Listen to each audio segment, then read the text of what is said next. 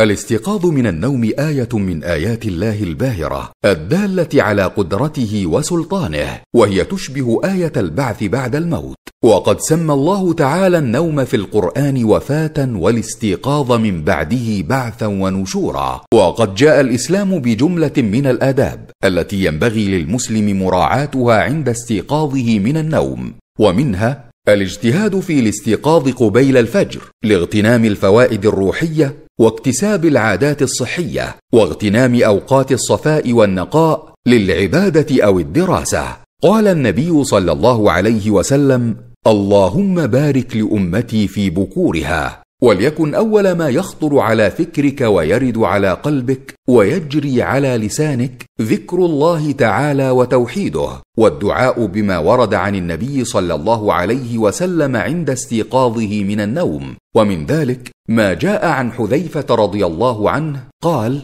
كان النبي صلى الله عليه وسلم إذا استيقظ من منامه قال الحمد لله الذي أحيانا بعدما أماتنا وإليه النشور. المبادرة بعد الاستيقاظ إلى الطهارة والصلاة والحذر من التكاسل والتعلل ببرد أو تعب أو نعاس. فذلك كله شعور كاذب. يزينه الشيطان وتسوله النفس الأمارة بالسوء.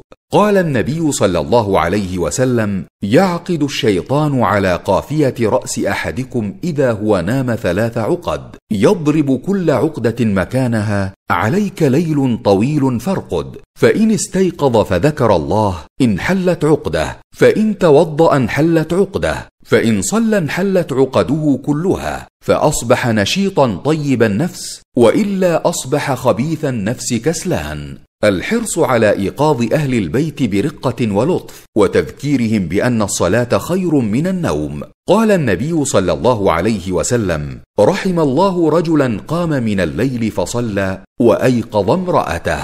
وكان عليه الصلاة والسلام لا ينام إلا والسواك عند رأسه فإذا استيقظ بدأ به.